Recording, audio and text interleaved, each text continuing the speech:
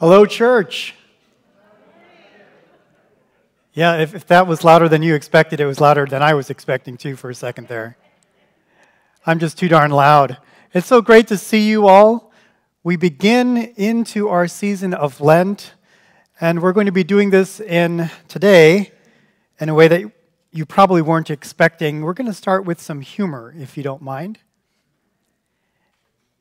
I think we need it. Yeah, someone said we need it, and I think we do need it. And so that's uh, this. This gave me a belly laugh this week. But before I jump into that, I want to ask if there are any perfectionists among us. I, I, I think this is pretty much like a 98% church of perfectionists. Is that probably a good guess? Uh, how many people, show of hands, uh, liked to be at the top of the class whenever they could? Oh my goodness. Whoa. I think this is why we always feel so much pressure up here because we know how smart you all are and ambitious. I was also one of those people who liked to get to the head of the class. But the question is, why do we always do that?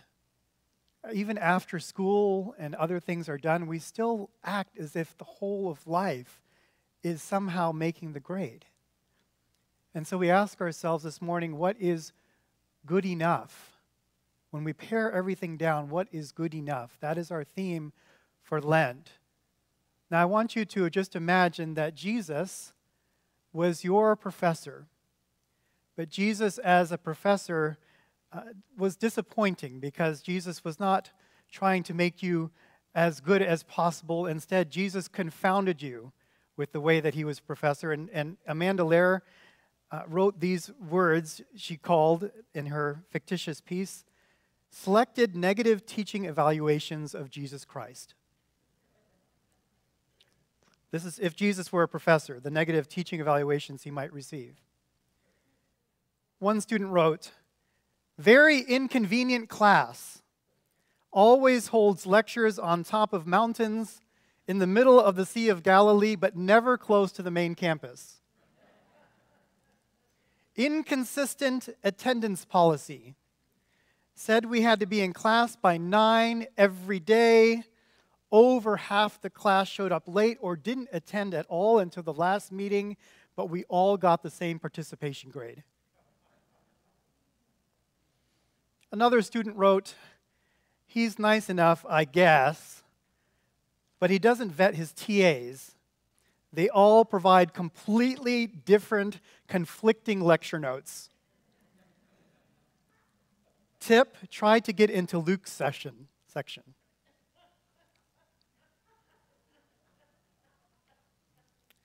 By week one, I was already tired of his anti rich, pro Samaritan junk. I wanted to take a course in Christianity, not liberalism. I didn't, write, I didn't write these. Wears sandals too much. No one wants to see your dusty feet. Not what I expected. They say his area of specialty is carpentry, but we never built anything. I wanted to like this class, but on the first day, he submerged us in a river instead of going over the syllabus, and that was kind of a lot. Two more. Feels like a class for farmers. Hope you like talking about seeds, wheat seeds, mustard seeds, seeds, seeds, seeds. He straight up ghosted us. He took on the entire class as, as his advisees, got us all excited to work with him, and then immediately left for a 2,000 year sabbatical. Thanks for nothing. Okay, I know I have to add one more. This one was a zinger. A complete joke only got the job because his dad is important.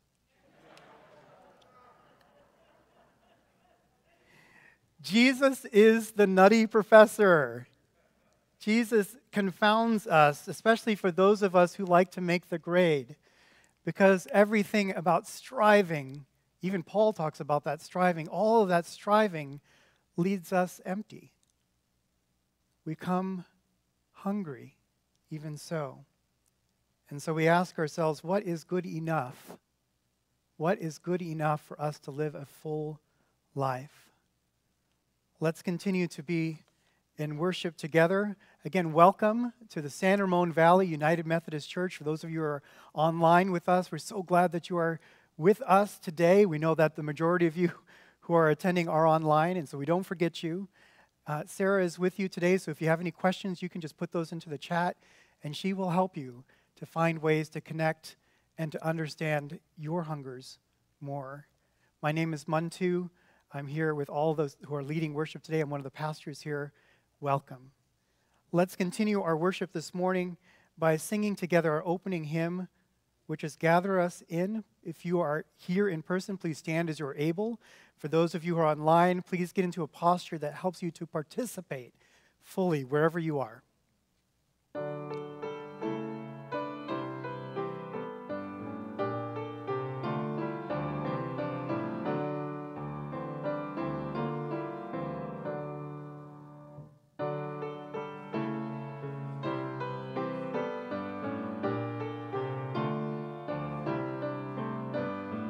Seeing fears and our dreamings brought here to you in the light of this day.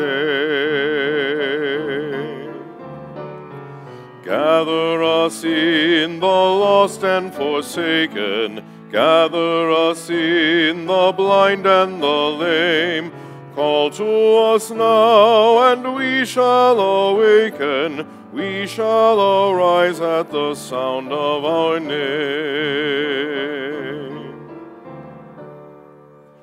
Not in the dark of buildings confining, not in some heaven light years away, but here in this place the new light is shining.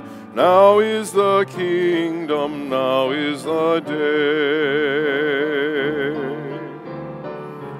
Gather us in and hold us forever. Gather us in and make us your own. Gather us in, all peoples together. Fire of love in our flesh and our bones.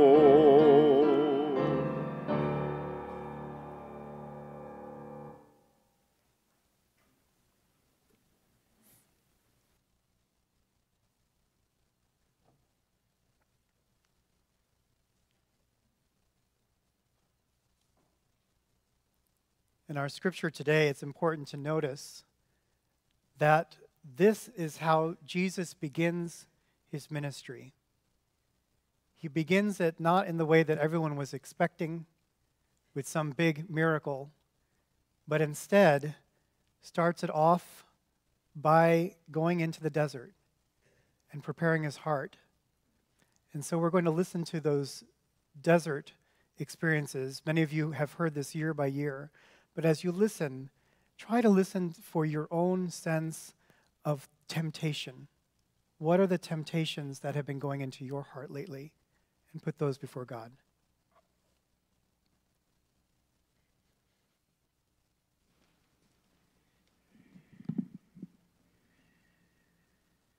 Join with me now in the reading of the Holy Scripture.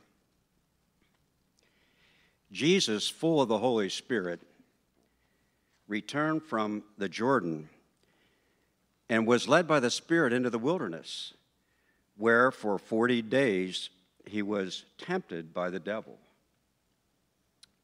He ate nothing at all during those days, and when they were completed, he was famished. The devil said to him, If you are a Son of God, command this stone to become a loaf of bread. Jesus answered him, It is written, one does not live by bread alone. Then the devil led him up and showed him in an instant all the kingdoms of the world. And the devil said to him, To you I will give their glory and all this authority, for it has been given over to me and I give it to anyone I please, if you will worship me. this will all be yours. Jesus answered him, It is written, Worship the Lord your God and serve only him. Then the devil took him to Jerusalem and placed him on a pinnacle of the temple, saying to him, If you are the Son of God, throw yourself down from here. For it is written, He will command His angels concerning you to protect you, and on their hands they will bear you up, so that you will not dash your foot against a stone. Jesus answered him, It is said, Do not put the Lord your God to the test. When the devil had finished every test, he departed from him until an opportune time. This is the word of God for the people of God.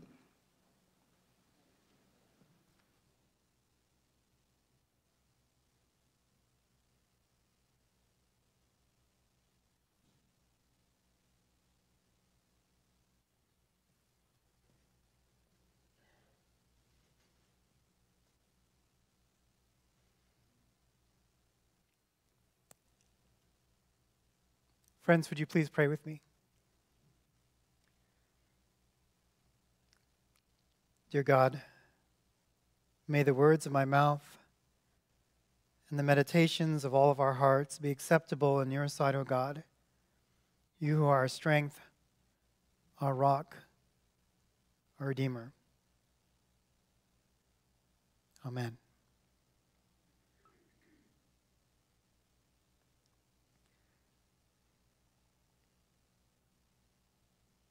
I'm going to warn you that the way that I preach this sermon today might make a few of you uncomfortable. And I'm going to apologize ahead of time. For those who are going to be most affected, I think that I have already warned you that this is coming. But Jesus made people feel very uncomfortable.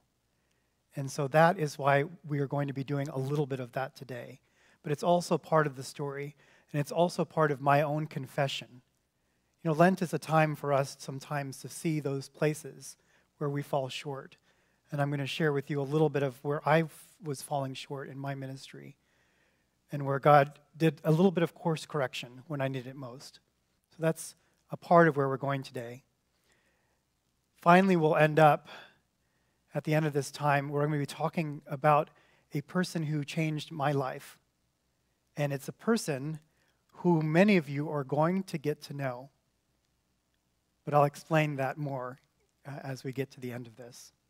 Let's begin with Scripture. Jesus confounds us. First, Jesus confounds John the Baptist. John the Baptist had said all these amazing things that this Messiah was going to do. He was going to baptize with fire. I baptized you with water, but it's going to be big. You know, Elijah kind of stuff, chariots of fire kinds of stuff. That's what the Messiah is going to be. And instead, Jesus comes, probably takes off most of his clothing, and puts himself in the river and asks John to baptize him instead. And the Holy Spirit comes and blesses that moment. And that same Holy Spirit immediately pushes Jesus into the next phase of his ministry, which again is not what we'd expect. We would have expected him to do kind of what the wise people did when they looked for Jesus to go to the, to the rulers, to go to the head of the religious institutions. But instead, Jesus, instead of going toward them, he goes away from them. He turns his back and he walks instead to the desert.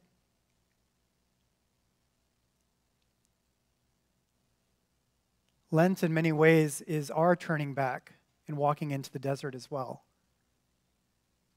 And Jesus turns into the desert, and instead of becoming more godlike, Jesus becomes more human. Jesus faces his own temptations. Was it the devil literally that came and talked to Jesus? Maybe. Or maybe it's more like what we experience in our lives. When we empty ourselves and we listen, we begin to see not only the good stuff of our lives, but also some of the ugly stuff, the stuff we really wish weren't there. The things that we would rather scrape clean, like, you know, the stuff that gets stuck to your pans and the dish, dish, you know, and you're trying to get them ready for the dishwasher and it just won't come off. Those things that we just struggle with. What are the things that you struggle with today? If you were in the desert, what would God be saying to you? For Jesus, it was turning stones into bread. And then it was being in charge, ruler of all the world. And then finally, it was to test God, to see if God was real, if he could just throw himself off. The devil was saying these things. And then after that, Jesus comes exhausted at the end of that journey. And he is attended to, the, the Bible says, by angels. It could have been angels. I wonder if it could have also have been, perhaps, uh, and just in my imagination, maybe there was a shepherds who found him semi-conscious, laying on the ground in the desert. Maybe it was a group of women who saw him and saw his needs and nursed him back to health when he was on the brink. I don't know exactly what happened, but if we take the story literally, angels came and attended. And so the question I ask for you is what would be attending to you? What are the hungers that you have today that only God could fill? Now, I have to admit, this is the confession part, that for a lot of my ministry, I just didn't get it. You see, I started ministry, and I've shared some of this with you before, so forgive me if for some of you this is a repeat. But I started ministry when I was 18 years old as a music minister. And so I was on staff from 18 probably until about 35, 38, continuously. And I forgot what it was like to not be someone up front. Being up front is really important. Nadia, Dewey, right? Don? It's, it's important to be up front, right, Pastor Cam? It is important to be up front sometimes. But it's amazing how when you stand up front for a long time, you forget what it's like to sit down in the pew or to be somebody who comes hungry for the word. Not because they have to learn some new dazzling thing that, you, you know, that they're coming in for, but because they're coming with real hungers and real needs. And in my life, it was, I think, about 2009 or so, I was the senior pastor of the Davis United Methodist Church. Some of you know it, not too far from here. And this was about the time that Heidi had finished her doctorate and was ready to start her work. And as I shared a couple weeks back, we decided that we would switch for a while and that I would be her support. And we would go to wherever her career needed next. And so I would become the stay at home dad. We had, we had our oldest daughter at that time. And so I exchanged this stole for a while. I'm having to pull this off awkwardly because it's stuck inside my wire. And I had to trade this out.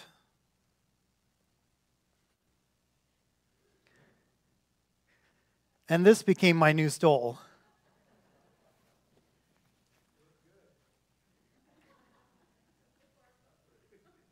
This is the, this is, this is the actual apron, actually.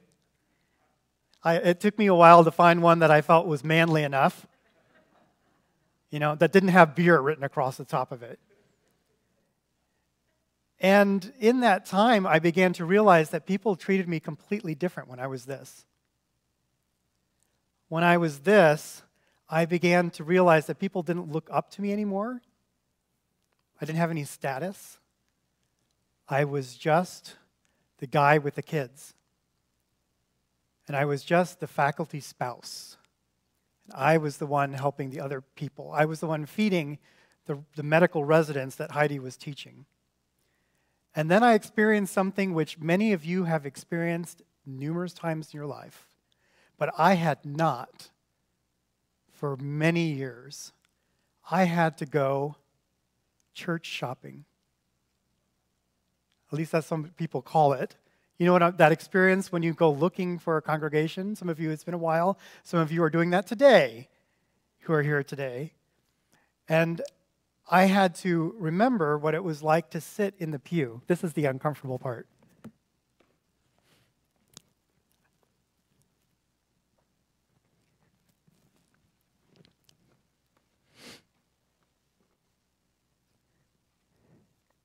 And sitting in the pew, I began to realize what it was really like to come to church. I, I noticed that some people were writing their grocery lists, uh, some people were online, uh, some people were completely distracted. But then I also had conversations with people around me. And I began to realize that when people come to church, they're not coming to be entertained. They're not coming to get smarter. They're probably already smart enough. Most of the time, when people come, especially after a long time, it's because something has broken their heart. Most of the time, I discovered that when people come, there's an emptiness that they're looking to be filled. Some of you might have heard the expression each one of us has a God shaped vacuum in our hearts. It's sometimes ascribed to Pascal. I, I, don't think that he actually said that exactly. I think that morphed over time. But do you, do you have a God shaped vacuum in your heart? So many of us try to fill that vacuum with so many things we find ourselves living life as if all of life is clickbait. You know what I'm talking about? Clickbait uh, on the internet. You know when they when they give you kind of like half of something, and then they try to get you to click on it. Clickbait, clickbait. Yeah, that's what that means. Yeah. See, I'm here so I can hear what you're saying. This is a very strange perspective, I have to say. And, and being in the pew, I begin to realize that we really are all the same. That all of that division of being up front and up there is an illusion. Because all of us are coming hungry. And I was coming hungry. And when I was sitting in the pew, I began to realize that what I really wanted was just somebody to notice that I was there, especially when I was new. And someone just to lean over and say hello, remember my name, maybe. Uh, when we came with the guide dog and with Heidi, you know, with her guide dog coming in to the sanctuary, we just wanted to make sure we could fit. Because sometimes we couldn't fit with the dog. Uh, in fact, we went to one United Methodist church, uh, and we tried to fit in the pews down below. We couldn't with the guide dog. And so we went into the balcony because that was the only place that we could fit was in the balcony. But then we had a, you know, our, our, our, daughter was three years old, I think, at that time, and she kept bolting to the front of the balcony and trying to jump off. And so I just, I just wanted some adult conversation. I just wanted a sense that that that God still loved me and that all was right in the world. And so we kept looking for churches, looking for people just that who would just be human with us, just say hello to us, and have a conversation and know that I was hurting. And finally, we did actually find a congregation where people looked at us and we could fit. And, and I had permission. Faith, if you're watching online right now, I'm talking about you, of course.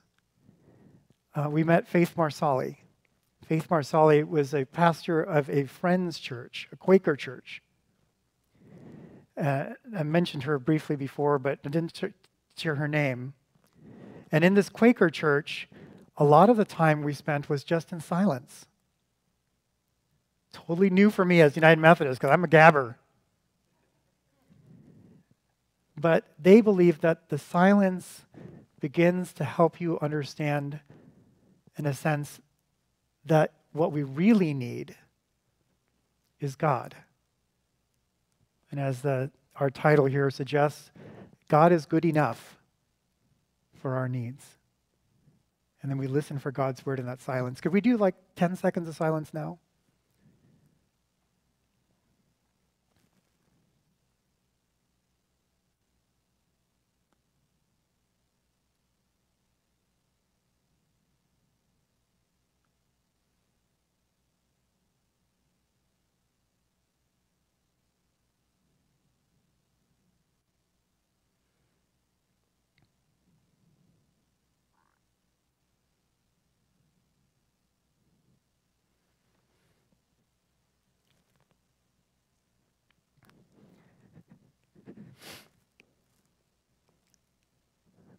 Amen.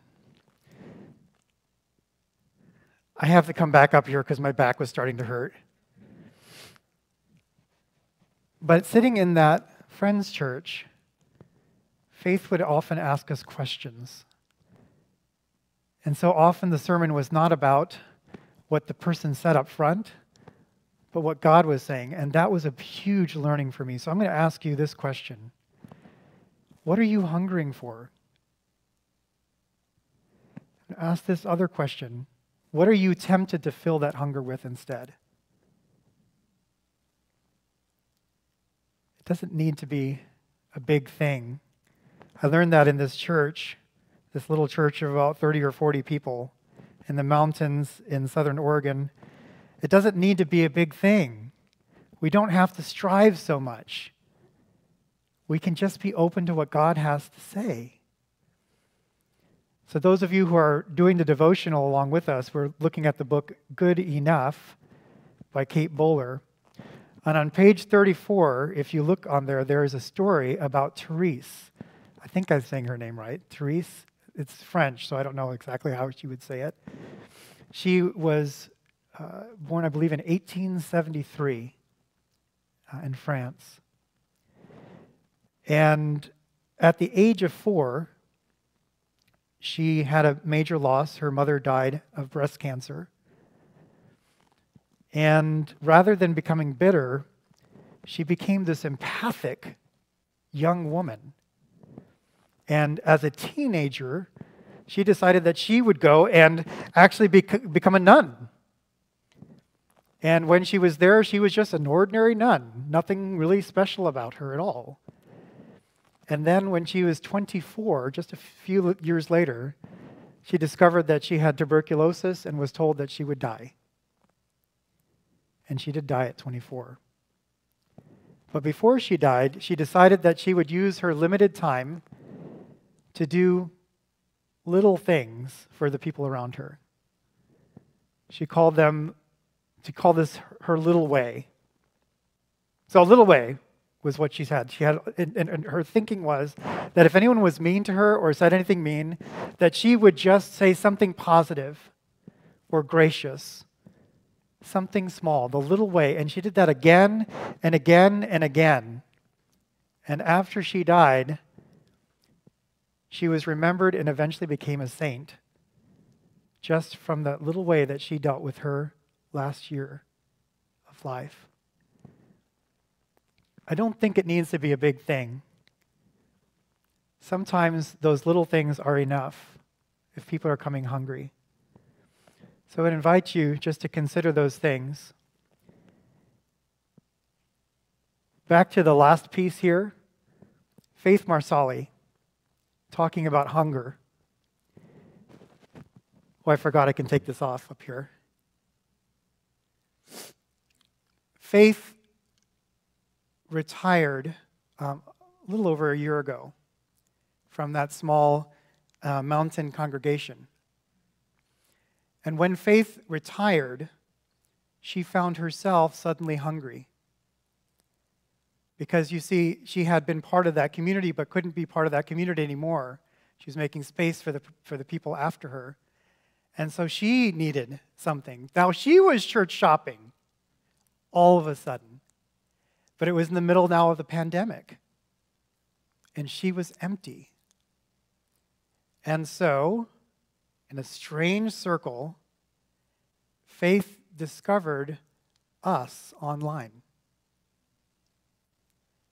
See, we've been doing this hybrid worship, and so people are kind of listening to us all over the country, all over the world now. We're hearing people from all over the world. We know that you're all from all over the world. And Faith was listening in Oregon. And she's been attending with us over the last year or so, Sunday to Sunday. Faithfully, she's been sharing these pieces with us. And she has been being filled by you and by us as we have been worshiping together. And now Faith has said that she would like to, in a sense, uh, return the favor. She would like to give also to the church that has been filling her for the last year. And she's going to lead a small group online after Easter on peacemaking because she was feeling that right now the world needs peace. She's hungering for peace. And so, if you are coming with that hunger today, I would encourage you to consider Faith's class. And I got to tell you, Faith is one of the most extraordinary pastors that I've ever met. And so I'm really excited that the same person that filled my hunger uh, through, through the Holy Spirit might get to fill some of your hunger as well. Let's continue to be in worship as we listen to this song that reminds us that small things are enough.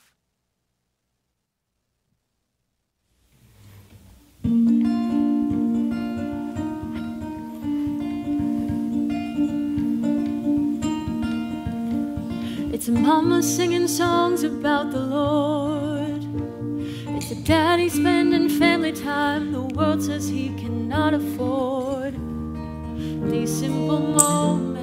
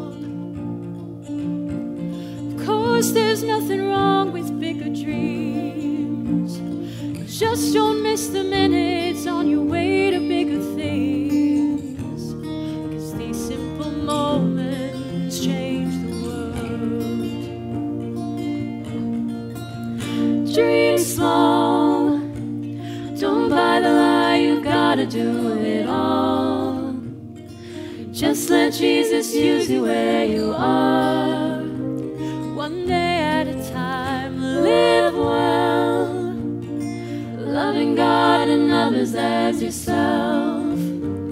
Find little ways where only you can help. With His great love, a tiny rock can make a giant fall. So dream small. Keep loving, keep serving, keep listening, keep loving, keep praying, keep hoping, keep seeking, keep searching. Add up all the small things and watch them grow bigger. The God who does all things makes oceans from rivers. Dream small. Don't buy the lie, you gotta do it all. Just Just let Jesus use you where you are.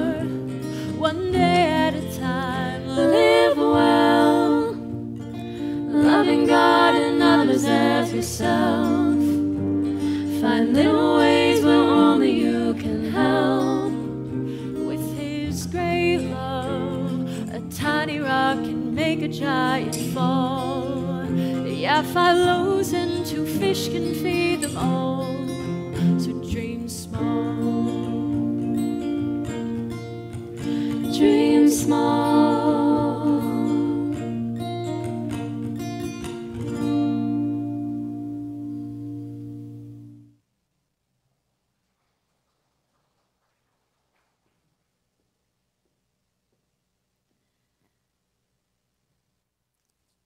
Morning, or hello. I'm Pastor Kim Reisdorf, and uh, the message we just heard prepares us perfectly for the power of communion.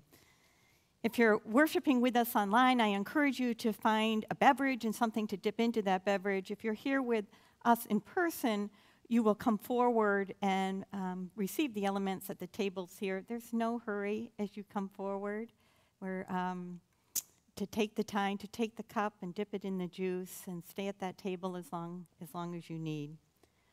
We remember as we take communion that Jesus served this meal after everyone had eaten, as if all that the world had to offer wasn't enough to fill the empty spots within us.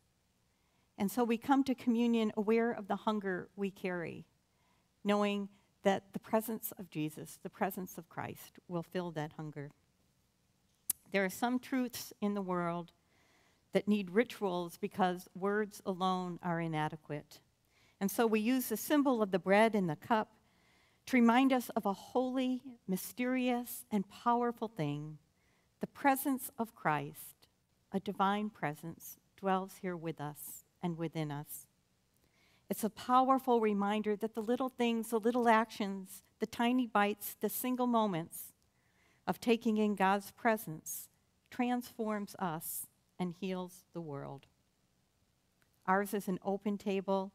You do not need to be a member of this church or of any church to come forward in order to receive communion. We simply come forward aware of the hunger and trusting that God will meet us in that place of hunger. And it's always appropriate when taking communion to say thanks be to God.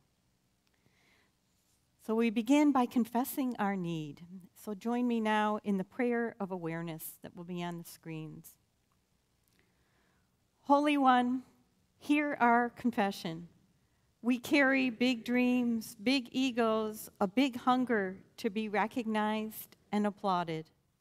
We hustle for recognition and approval tenderly touch this need. Free us to do the little things with great love, now and always. Hear now these words of assurance God forgives us. The miracle of forgiveness is that now, today, this moment, we can start over. We can offer ourselves emptied and vulnerable so that God can find a home in us. Together now, we will bless the elements with a, with a new liturgy, and your lines are in bold as we pray together. We gather together as a community. Wherever you are, together we give thanks that the living Christ dwells with us. Come, for we are invited to this holy mystery. And the people say, We are ready. Jesus said, I am the bread of life. All who come to me will not be hungry, and all who believe in me will never be thirsty. We are hungry and thirsty. We see the hunger and thirst in ourselves and in our world. Feed us now with hope and courage. We remember how on that dark night, that dark night of betrayal and loneliness and fear, Jesus offered the bread of thanksgiving and said, Take, eat. This is my body given for you. Do this in remembrance of me. We remember how Jesus took an ordinary cup, filled it, and said, Take, drink. This is my life, poured out for you and for many, for the forgiveness of sins. Drink of it and remember me. Come, Holy Spirit, come. Open our eyes to the mystery of Christ's presence in these ordinary things in our ordinary lives. May they be for us the very essence of the living Christ in our midst.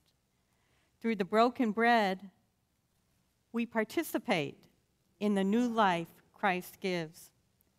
Through the cup of blessing, we participate in the new life Christ gives.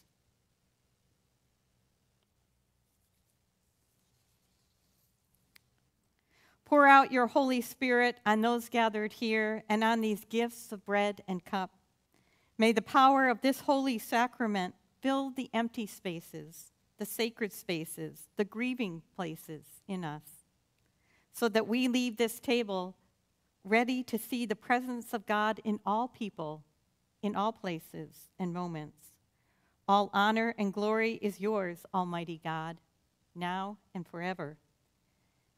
And that truth rings true as together we pray the Lord's Prayer, saying, Our Father, who art in heaven, hallowed be thy name. Thy kingdom come, thy will be done, on earth as it is in heaven. Give us this day our daily bread, and forgive us ourselves, as we forgive those who trespass against us Lead us not into temptation, but deliver us from evil. For thine is the kingdom, and the power, and the glory forever. Amen. You're invited to come forward.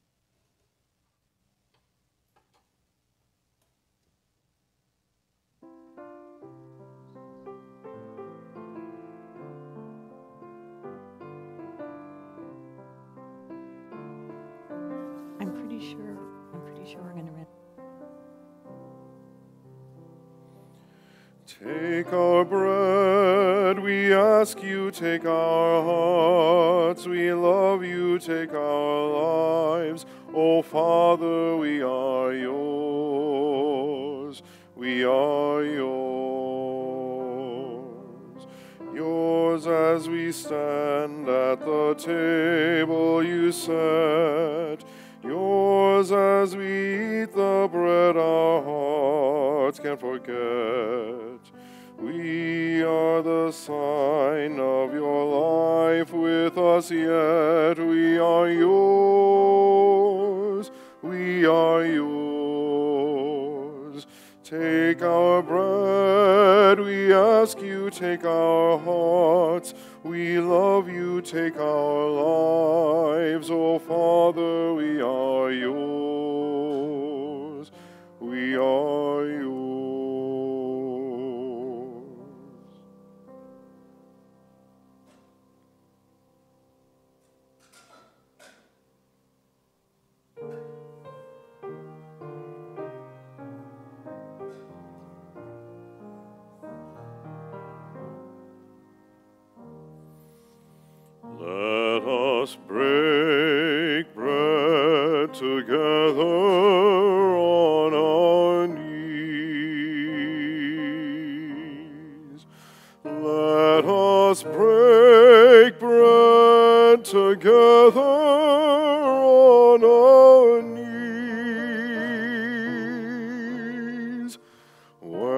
When I fall down on my knees with my face to the rising sun. Oh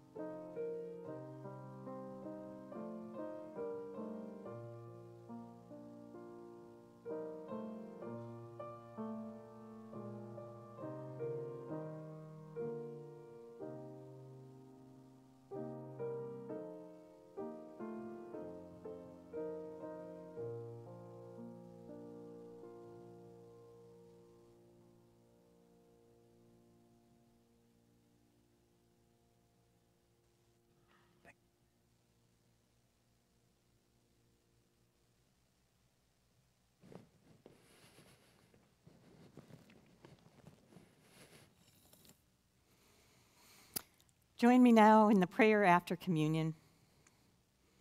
Eternal God, we give you thanks for this holy mystery in which you have given yourself to us. Help us go into the world in the strength of your Spirit and give ourselves in the name of Jesus Christ. Amen.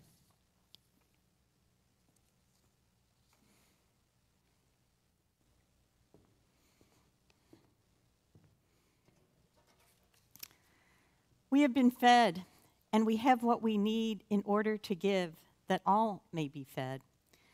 Several times a year, we join in a um, uh, we join together with Methodist churches all around the world because together we can do what can't be done alone by pooling our resources.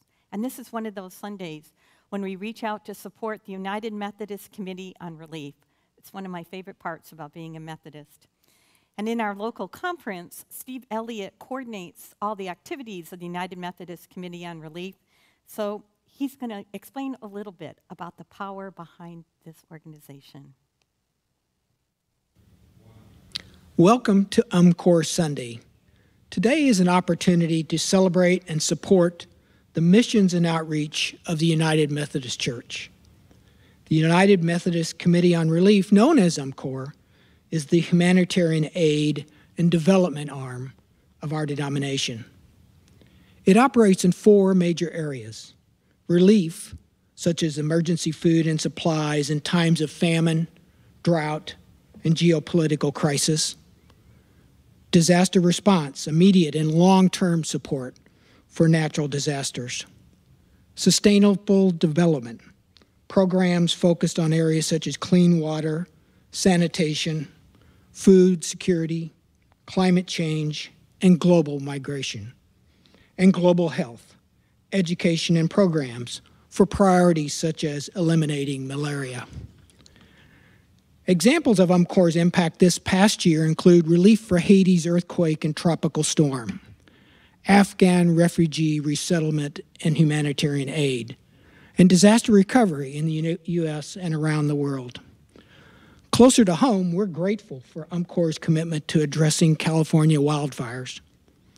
During the past five years, UMCOR has provided over $1.5 million for wildfire recovery, with more to come.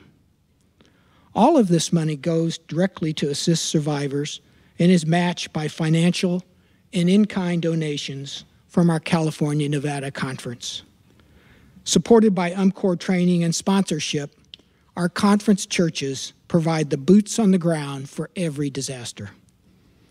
UMCOR provides some of the supplies we use in our disaster response. This month, UMCOR is training the case managers for the Caldor fire. I hope you will consider giving generously to today's special offering. This offering is the means by which UMCOR funds their core operations. That way, when we have a specific designated need, say the recent Dixie Fire or the tornadoes in Kentucky, 100% goes directly to that need, not to operate UMCOR. Thank you for your support.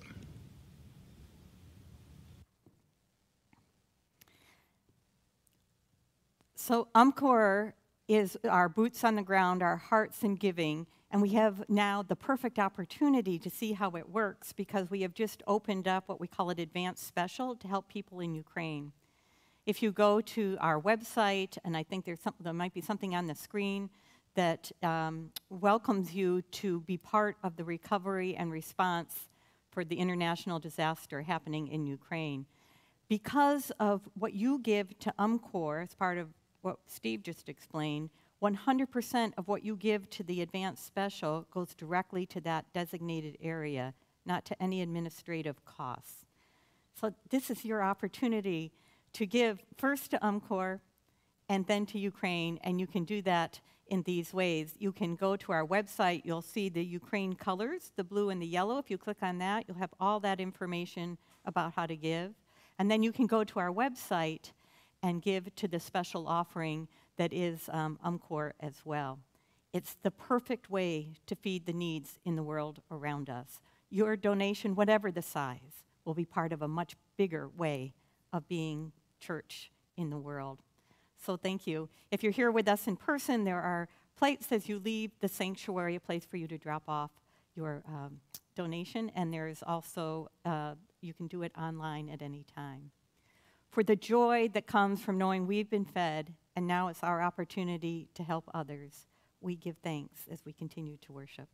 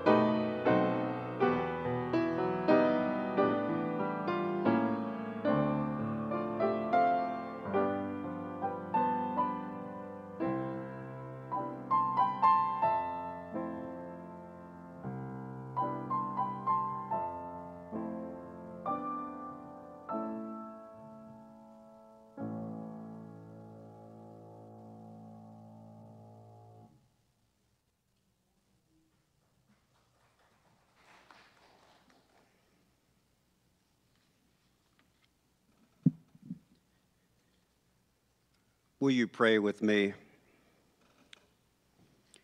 Wise and loving God, we begin this Lenten season with heavy hearts. Not only are we reminded of the punishment that Jesus had to sustain, but in our own time, we witness an unwelcome return to war in Europe. From the Ukraine, we see images of people who have packed entire lives into a backpack and who, clutching the hands of bewildered children, walk their rubbled streets of their cities to an unknown future. Forgive us when we pretend that there can be no peace on earth. Encourage us to give of ourselves and our gifts, which will further the cause of peace and freedom throughout the world. Accept these our gifts in the name of the great peacemaker, even Jesus. Amen.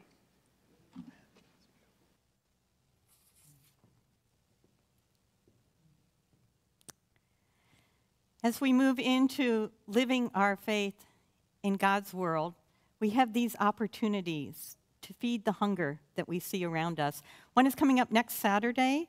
We are hosting a workshop for parents so that they can help their kids during this time where there is increased anxiety and dismay and uncertainty.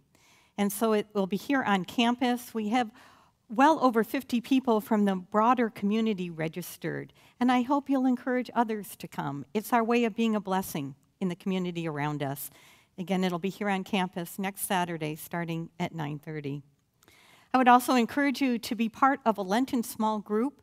It's for the next 6 weeks to find a way in community to go deeper in your faith. And you can find uh, all that information and all the groups that are open that are online, in person, and hybrid on our website. It's a powerful way to live and deepen our faith.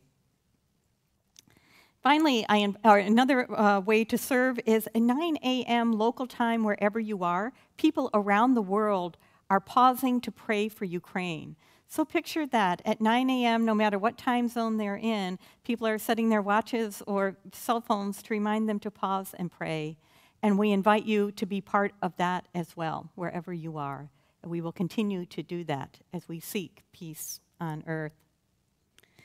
For those here in uh, in person worship, please join us for fellowship time afterwards, a chance to catch up and enjoy a cup of coffee and conversation together.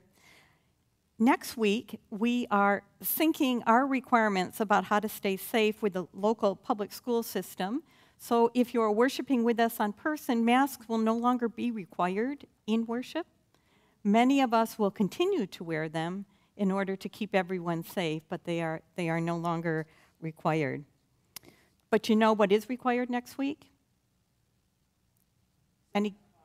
Oh, someone got it right off the bat. Yeah, this is the time when we move. It's uh, we move our clocks. Uh, you lose an hour, so uh, remember to do that so you don't miss a moment of worship as we gather next week. Extra credit for um, knowing that. May all of us um, live into this hymn as a type of prayer. It's hymn 454 Open my eyes that I might see.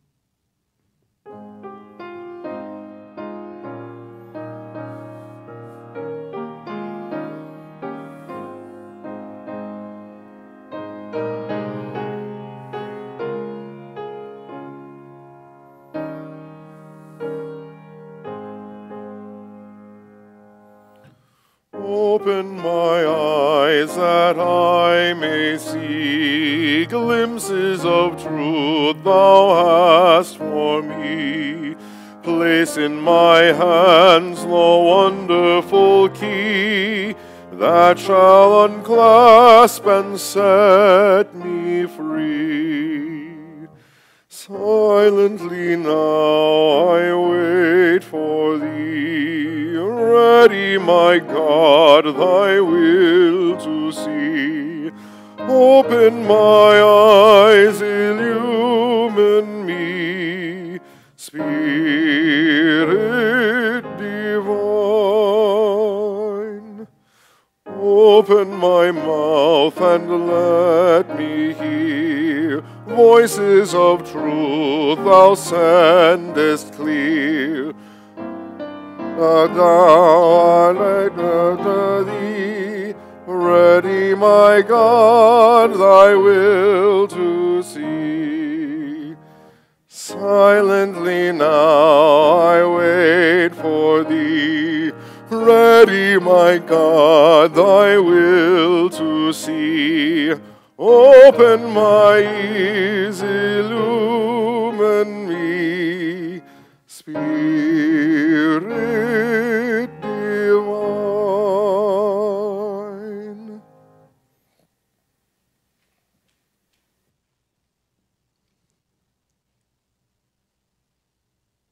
so many of us came hungry today because of all of the pain that we are seeing in the world right now. I think many of us are hungry for peace. We're desperate. We're desperate because we don't know what will come next. But we're also reminded as we see those images that everything that we assume is important can be gone like that. We cannot take it for granted. So, what is good enough underneath all of that striving? What is good enough for you? Remember that underneath it all, the one who fills the void loves you deeply and is ready to bring healing. God is with you. Go in peace. Amen.